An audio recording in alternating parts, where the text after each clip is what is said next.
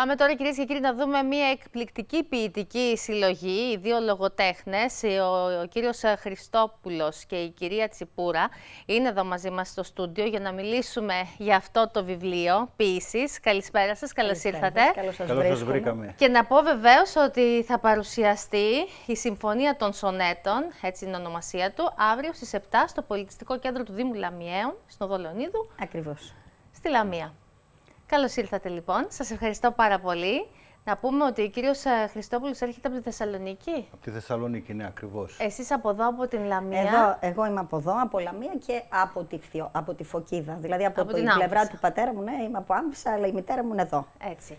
Οπότε... Δύο λογοτέχνες λοιπόν, δύο άνθρωποι του πνεύματος, ε, οι οποίοι βρεθήκατε και ετοιμάσατε, γράψατε το συγκεκριμένο βιβλίο. Για μιλήστε μας ε, για αυτή την πρωτοβουλία. Κυρία Τσίπουρα. Ε, καταρχήν αυτή η συνεργασία ξεκίνησε διαδικτυακά ε, την περίοδο του εγκλισμού, τότε που ήμασταν λόγω κορονοϊού όλοι μέσα ναι. και δεν υπήρχαν και οι δυνατότητες και οι ευκαιρίες να έχουμε εξόδους και επαφές, ναι. οπότε αφοσιαστήκαμε στο λογοτεχνικό πεδίο, να το πω έτσι. Υπήρχε βέβαια πάντα ε, μια διάθεση από φοιτήτρια και από, και από μαθήτρια μπορώ να πω, από το γυμνάσιο που, ξεκίνη, που είχα ξεκινήσει και έγραφα. Ναι. Αλλά κατά την πορεία ε, ολοκληρώθηκε ως φοιτήτρια. Όμως ποτέ δεν είχα ε, τη σκέψη αυτά που έγραφα να τα βγάλω προς τα έξω. Ναι. Είχα συγκεντρώσει πάρα πολλά ναι. στην πορεία και κάποια στιγμή ε, ένιωσα την ανάγκη να το μοιραστώ ήταν μάλλον, ήρθε ο καιρός να συμβεί κάτι τέτοιο. Είχε οριμάσει μέσα μου αυτή η σκέψη. Ναι. Και μέσα από τις λογοτεχνικές ομάδες, των οποίων ήμουν μέλος σε διάφορες ομάδες, ε, πέτυχα και στην ομάδα του κυρίου Χριστόπουλου. Δηλαδή, ο, ο οποίος έχει την ποιητική έλξη στη Θεσσαλονίκη και είναι και ο ιδρυτής ο ίδιος της ομάδας αυτής. Και από εκεί ξεκίνησε η γνωριμία μας, η Άρα λοιπόν, κύριε Χριστόπουλε, εσείς ε, καταλάβατε ότι η κυρία Τσιμπούρα έχει κάτι να δώσει πολύ καλό σε αυτό το τομέα. Ναι, όντως το, το κατάλαβα ότι είχε και πείσμα και θέληση για να ναι. μάθει και το συγκεκριμένο λογοτεχνικό είδος, που είναι ναι. αρκετά απαιτητικό και δύσκολο. Και θέλω να μας μιλήσετε γι' αυτό. Τι εννοούμε λέγοντας ε, σονέτα; Το σονέτο. Ο Σέξπιρ έγραφε. Έγραφε και ο Σέξπιρ ναι. το αγγλοσαξονικό σονέτο. Έχει πάρει το όνομα του Σέξπιρ γιατί είναι ο κύριος εκπρόσωπος. Αλλά προήλθε και από την Ιταλία. Υπάρχει και το ιταλικό σονέτο ναι. με κύριο εκπρόσωπο τον Πετράρχη και τον Δάντη. Από τις αρχές του 14ου αιώνα. Και ήρθε και στην Ελλάδα τον 18ο με 19ο αιώνα ναι.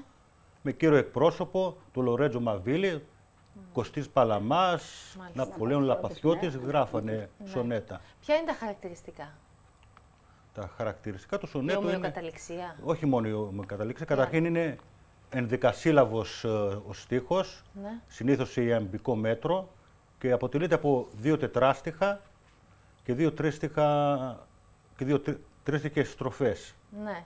Δεν είναι καθόλου απλό νομίζω. Δεν είναι καθόλου απλό, είναι, είναι πολύ απαιτητικό και δεν γράφουν πάρα πολύ αυτό το συγκεκριμένο Έτσι. είδος. Θεωρώ πάντως εξαιρετικά χαρισματικούς τους ανθρώπους που γράφουν και γράφουν και τέτοιο είδους, είδος ποίησης, έτσι, με την ομοιοκαταληξία. Πρέπει να έχετε ναι, πολύ φαντασία, νομίζω.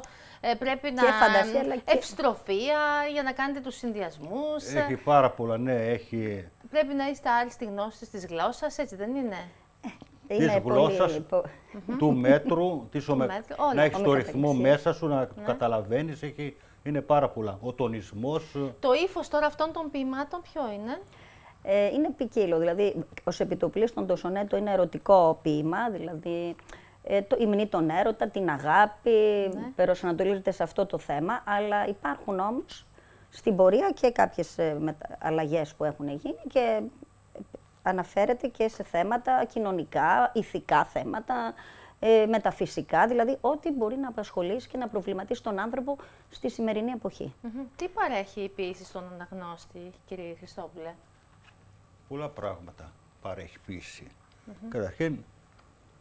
Δεν επιλέγεται όμως πολύ εύκολα ε, στο να, το, να διαβάζει ε, κάποιος αναγνώστης Πλέον δεν, ε, δεν, ε, δεν επιλέγει να διαβάζει πίεση γιατί τώρα, στη σημερινή εποχή, στη μοντέρνα εποχή ναι. της ποιήσης, είναι κάπως δυσνόητη για τον απλό κόσμο. Ναι. Ναι. Δηλαδή είναι μια, η πίεση πλέον αρχίζει να απευθύνεται μόνο σε λίγους, σε συγκεκριμένα άτομα. Mm -hmm. Γι' αυτό και ο κόσμος Δεν έχει- θέλει να ζορίζεται ο κόσμος. δεν Ανοίγει θέλει το να κινητό ζορι- και βλέπει εικόνες και βίντεο μέσα από τα Όχι, social. Τίποτα άλλο. Δεν δεν κάθεται θέλει να να ζορίζει το ζορίζεται, μυαλό του. να μην ε, θέλει να διαβάσει ένα ποίημα και να Ναι. το καταλάβει κατευθείαν. Δηλαδή να πει και να το ευχαριστηθει Να το νιώσει, να τον αγγίξει. Γιατί όμως πρέπει να διαβάζουμε ποίηση; Η ποίηση γαλινεύει την ψυχή.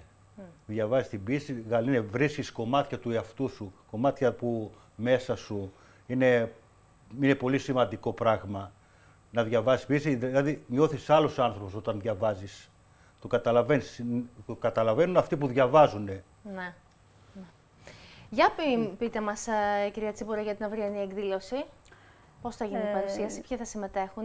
Αν έχετε δει και την πρόσκληση, έχουμε ένα team από εξαιρετικούς ομιλητές και λογοτέχνες, γιατί συγγραφείς, ε, να τους αναφέρω και τα λοιπά Βεβαίως. τα ονόματά τους. Είναι ο κύριος Δημήτρης Φαφούτης, ο ίδιος είναι ιδρυτής ε, του Ομίλου Φθιωτών Λογοτεχνών και Συγγραφέων εδώ στην περιοχή μας.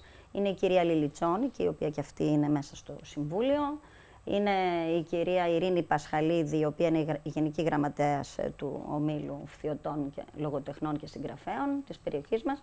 Είναι η κυρία Βάνια Τσιαγκούδη, η οποία είναι οικονομολόγος και ασχολείται με μεταπτυχιακό ε, στον τομέα της ε, γραφής.